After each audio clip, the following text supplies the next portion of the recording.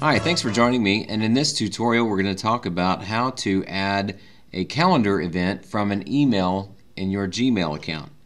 Now, this is a pretty simple task, and it just so happens that I have an email here with a meeting request in it. This could have been sent as a calendar invitation, and we'll talk more about that in the calendar videos that are coming up soon. But this was an email that was sent to me requesting a meeting on Monday, November 30th at 3 o'clock. Now you may notice that when you get emails like this, Gmail will actually underline the event and when you hover over it, it asks, would you like to add this to your calendar?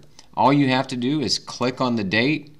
A pop-up box allows you to add this to your calendar. You can alter anything that you need to on here, such as the time if it's a little bit off.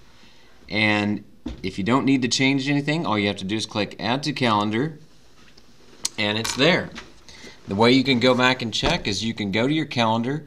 Calendar is usually found at calendar.google.com, but you'll also want to check if there's a different address for your Google Apps for Education domain.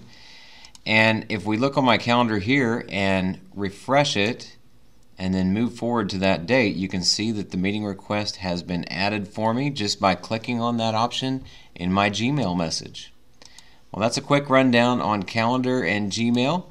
And look for a series of videos on using Calendar later. And thanks for joining me.